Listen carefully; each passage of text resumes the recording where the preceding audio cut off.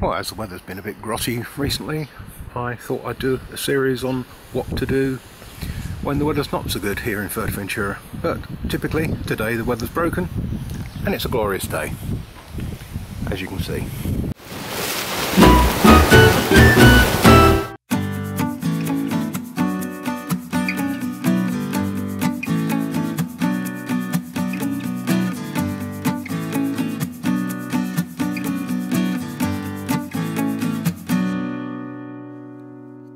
It costs five euros to get in, uh, no discount for residents, and I still got charged even though I explained to them I'm making a video to put on YouTube to promote the place.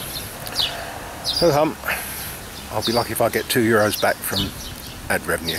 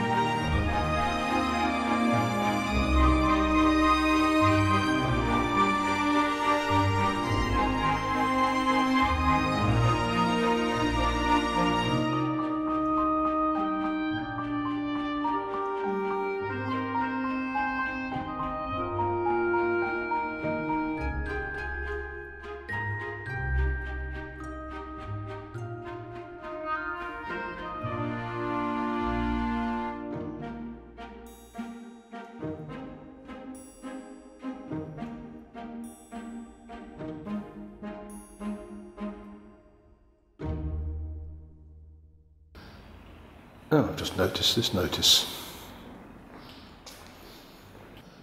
Well, Oh, Sodom, I paid to get in.